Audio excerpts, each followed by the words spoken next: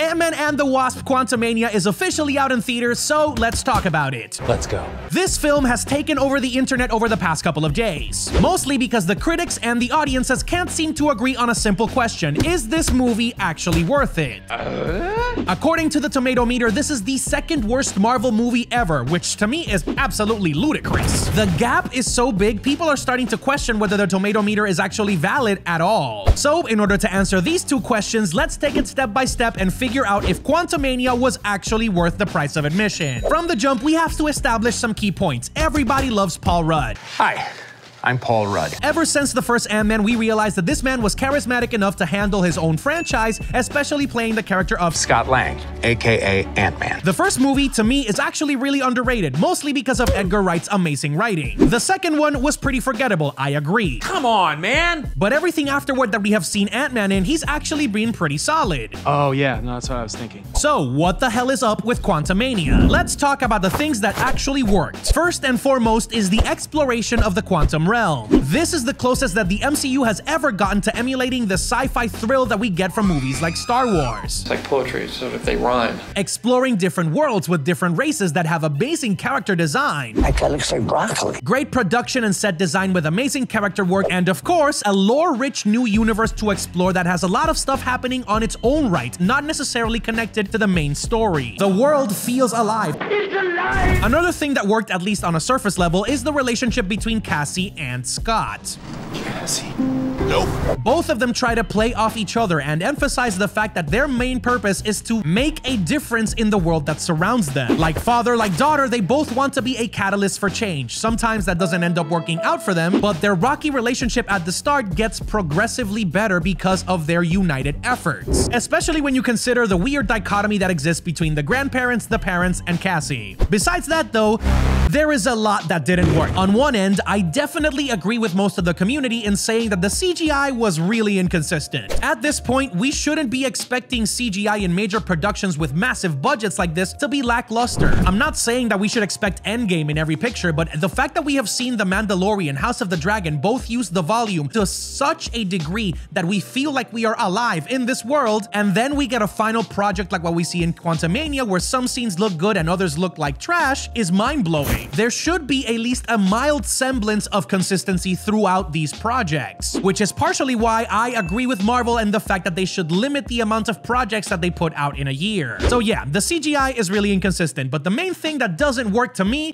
is the story structure. It tries to do so much at one time from the exploration of the quantum realm to setting up Kang as the main baddie for Phase 5 and Phase 6, and then exploring the family relationships between Janet, Hank, Hope, Cassie, and Scott, that it ends up being bland in all aspects.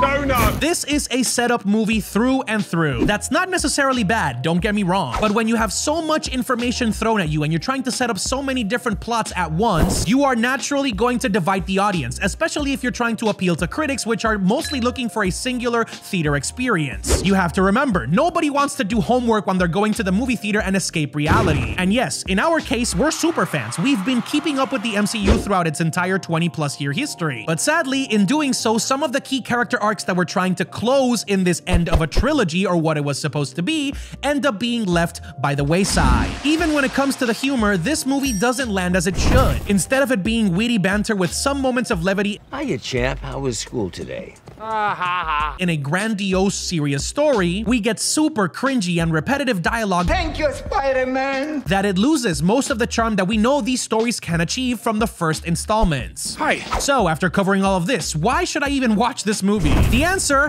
is exactly what you think. Ants. Ants. Hmm.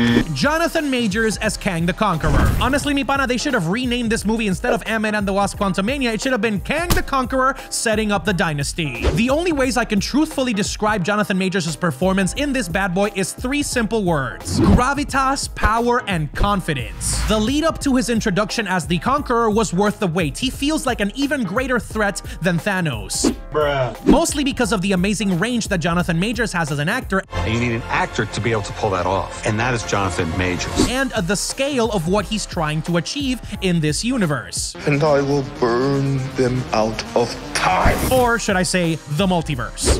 Multiverse is real. Although he doesn't seem as physically overpowering as Thanos did, he is tactically and psychologically ahead of everybody else in this realm. Especially considering the fact that we know he has taken down the Avengers before. So it leaves you fiending for more, wanting to see him at his best. There are no random jokes like in Thor Love and Thunder with Gorr the God Butcher. This is a serious man. It was truthfully a sight to behold. With that said, MODOK, yeah, MODOK looks horrible, but I am not particularly going to dock that many points from the film itself because MODOK is wacky and weird in the comics as well. In this movie, they made him the center of the comedic relief. His design and humor and his overall demeanor is cringy, we knew it. From a design perspective, he ends up living somewhere in the uncanny valley the entire runtime. He's pathetic without his helmet. I will say, however, when he's in full armor and has the voice changer, he does look pretty menacing. But again, as we improve in many aspects, we get a bombshell of disappointments on the other end to counteract it and give us an overall mixed bag. To answer the first question, the tomato meter was not right in one side or the other. This is definitely not the worst movie in the MCU or even close to it. I think Thor the Dark World has that prize in every single category. It is also not Endgame. I feel like it falls somewhere in between. But everybody knows that the main attraction for this project is to see Jonathan Majors become Kang the Conqueror